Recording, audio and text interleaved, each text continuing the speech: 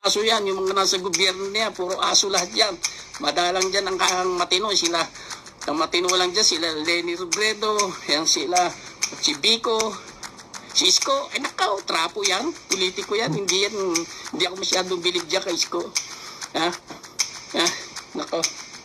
Si, sila Trillanes, yung 8, dapat yan ang talagang mailagay nyo sa gobyerno.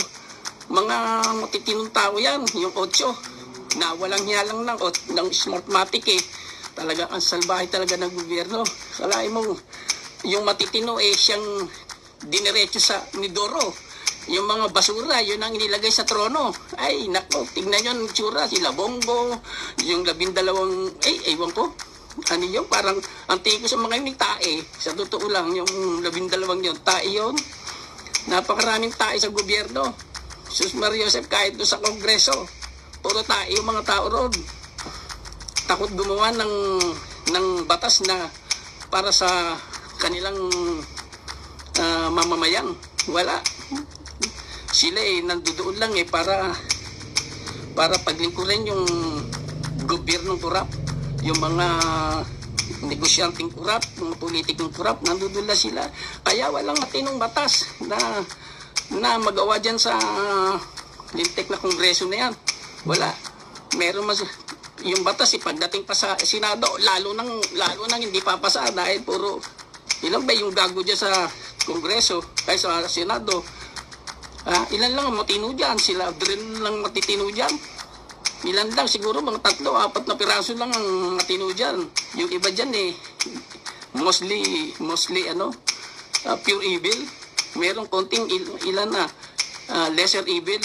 Pero almost all are, are ano, pure evil. Nakaka, nakaka, ano, nakadismaya talaga sa totoo lang. Nakakadismaya ang gobyerno ngayon. Ha? Wala, hindi natuto kasi ang mga tao. Hindi natuto. Hindi natatanggal sa, sa isip ng tao yung pagiging regionalistic. Kung mo Bisaya eh, ang nakaupo eh, kahit mali eh, dahil Bisaya, kakampihan, mali yun. Palibas sa Ilocano yung nakaupo, kakampihan, mali yun. Ha? Ano kaya kung subukan nyo naman ng mga Bicolano?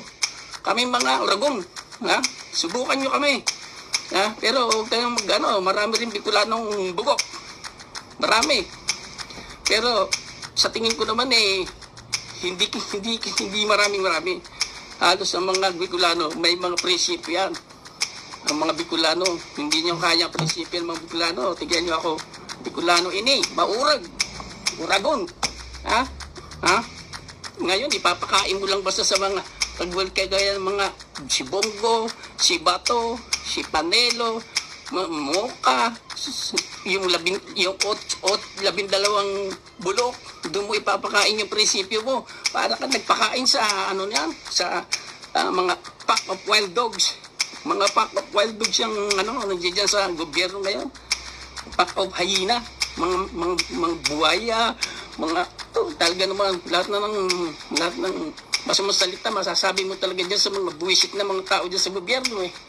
Lalo yung kanilang pinuno. Sus Maria ah, gusto kong gawin gusto kong gawin punching baga mukha ng talentado niyan eh. Hmm, gigigil ako talaga dyan sa presidente niya na yan. Parang parang parang abnormal talaga hindi, hindi abnormal talaga yung presidente niyo talagang ano eh psychotic narcissistic lahat na klase ng ano, mental problem nasa ulo niya. Ang galing niyang, ano, alam niyo ba yung mga may mental problem, ha? yung narcissistic na ganyan tinatawag, Mm, ano yan, umiikot ang utak niyan, pero sa kasamaan, hindi sa kabutihan. Ha? Yung pag nagsalita yan, kala mong totoong totoo. Pero kung sa, sa mga kagaya natin, ni isang porsyento, walang totoo sa sinasabi niya eh. Ha? Gagaya ko. Pag nakinig ako sa kanya, no way na paniwalaan ko yung mga sinasabi niya. Lahat yung puro kasinungalingan yun, pandaraya, puro panduloko. Yun ang ginagawa niya. Ha?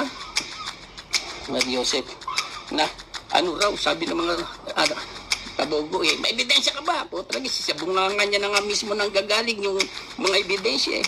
Pumatay siya ng tao, ah, pati katulong eh, kung ano nung pinagagawa niya, pambabastos. Yung chismis anak niya, ewan ko kung totoo yun. Ewan ko kay si Pamatong ang nagchichismis ng gano'n eh, mainam na.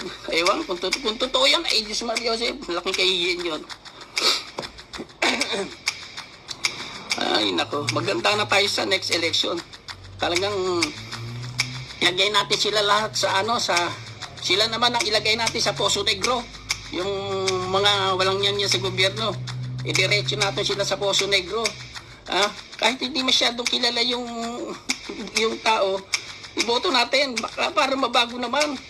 Ah, yung mga mga ganid na family dynasty, isa yan sa pumapatay sa Pilipinas. Yung mga ganid na family dynasty, mga Marcos, mga Cayetano, yung mga Binay na yan, nako, wala. Pag lahat ng, ng syudad, lahat ng probinsya, ganyang klaseng mga tao ang uupo, huwag na kayong umasang may pagbabago. As usual pa rin yun. Ganun pa rin ang mangyayari. Sa totoo lang, ganun, ganun pa rin. Wala. Talaga naman, oh. Yan si Pacquiao, sabing ganun eh.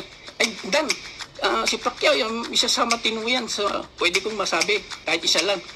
Ano, si Pacquiao, hindi nga nagbabayad ng tax yan eh. Pag namimigay ng pera yan, eh, hindi nyo ba alam, tax nyo yun na pinamimigay niya, tapos naka-video. Naka-video ganun, nagyayabang siya. Talagang binibigyan ng sandaan, limandaan, libo, ganun. Pera nyo yun, hindi, hindi niya pera yun. Ang pera niya, yung pinanalunan niya sa boxing, yun talagang pera niya yun. Totoo yun. Pero yung mga tax na dapat niyang itax sa gobyerno, yun ang pinamumudmud niya para magpasikat. Kasi may masama na namang binabalak yan. Gusto rin niya kung kumandidato. Ha? Maraming gusto kumandidato. Pagdating ng buta, alam mo, magkakaagapan yung mga aso na yan. Ha? Ultimo yung sipong, buwisit na sipong na yan. Babanat na naman yan. Walang, kat, walang ka, ano yan eh. Ganyan yung mga ganit sa kapangyarihan. Pakapalan ng mukha. Talaga. Kaya tayong mga mga butante, medyo talas-talasan naman natin ang ating isip. Medyo ano, idilat natin ang matang ganoon. Huwag yung pagpunta mo sa polling station eh nakatingala kasi ganun sa sa kesame at doon ka naghahanap ng pangalan ay boboto mo. Hindi, dapat sa bahay pa lang. Matagal pa bago dumating eleksyon, nakahanda ka na. Nakalista na lahat yung mga dapat mong iboto. Ganon ang dapat. Ay, masakit na lalamunan ko. Laki magme-merienda. O sige, ha? Yung mag-exercise pa na konti. Hmm? Ha? Ha? Sige.